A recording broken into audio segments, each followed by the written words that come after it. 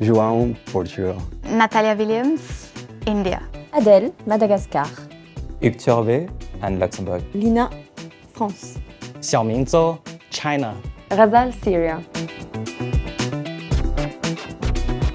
One word!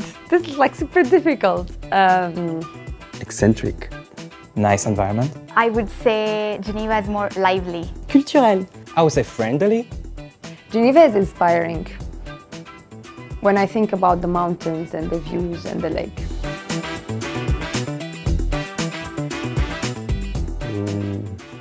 Ah, moi j'aime beaucoup Genève, donc c'est difficile de dire un point négatif de Genève. Expensive. The negative would be the climate. Uh, Relatively small. it's difficult. I really like Geneva, so Bon, c'est une petite ville. small, I would say. Maybe housing is always a big issue for, for other people. J'essaie à apprendre le français euh, quand je suis déménagée en, en Genève. Personally, I had no constraints on not being able to speak in French. Everyone knows to speak English in Geneva, so it's not necessary to know French, and everyone speaks in English in the lab. I was always encouraged to, to learn French, but I found myself is not really talent um, in language learning. I like it because I would like to be more involved in the, in the life in Geneva and meet people that are living here, Swiss people. So I like um, learning French and I enjoy it. It's a beautiful language. I don't think I will learn in French, but French is really a romantic language I found. Euh, Genève c'est une petite ville et en même temps on a l'impression qu'on vit dans une grande ville.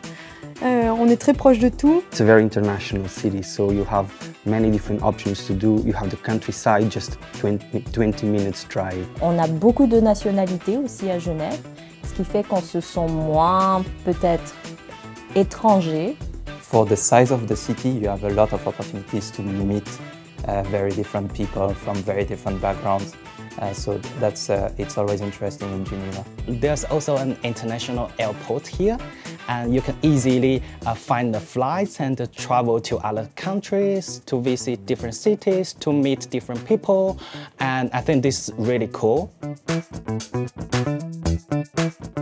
Pas mal d'activités que je fais à côté. We have the lake, we have the mountains. You can go running in five minutes from your door. Je suis au chœur à l'Uni. You can go to the mountains every weekend. You can go swimming. J'ai connu le chœur de gospel. I really enjoy the breathtaking uh, mountain view here. Je fais de l'opéra. There's lots of nice hiking routes. J'ai fait de la comédie musicale. You just take a train in two hours, you're pretty much anywhere in Switzerland with beautiful landscapes. It's amazing. Puis je fais aussi de la pole dance. On fait euh, beaucoup de randonnées. Euh, Je vais aussi à la piscine. Il y a la piscine juste à côté de l'université de Genève. De la photographie. Je fais partie d'un- d'une association pour faire du piano. J'en fais depuis que je suis toute petite. Parce que euh, il faut s'entretenir soi-même aussi pour faire d'autres choses en dehors de la science du travail. Je fais beaucoup de choses.